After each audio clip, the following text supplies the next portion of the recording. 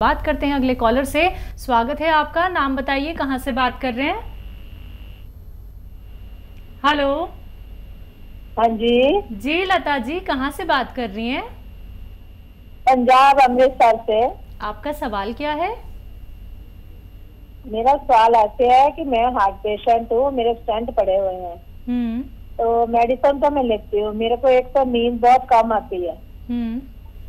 एक मेरे को गैस की प्रॉब्लम रहती है। हम्म। कब्ज गैस रहती है नींद नहीं आती रात। हाँ लता जी देखिए खूब ख्याल रखा करिए अपना। स्टंट पड़े हुए हैं यानी एक से ज़्यादा हैं। मैं एक ऐसा नुस्खा आपको बता रहा हूँ जो आपके ये तीनों काम करेगा। नींद खूब आएगी आपको और खूब गफलत की नींद आनी चाहिए हर आदमी को। यानी बिल्कुल खो जाए। और उसे कोई टेंशन ना रहे, सुकून मिले दिमाग को। और डायबिटीज़ भी कंट्रोल होनी ज़रूरी है।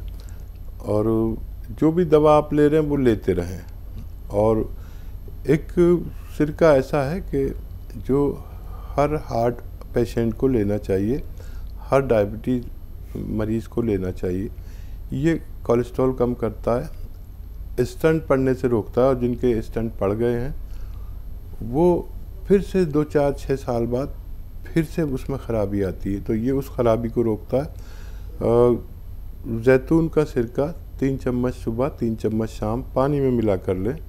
आपकी ये तीनों समस्याओं का फ़ायदा मुमकिन है।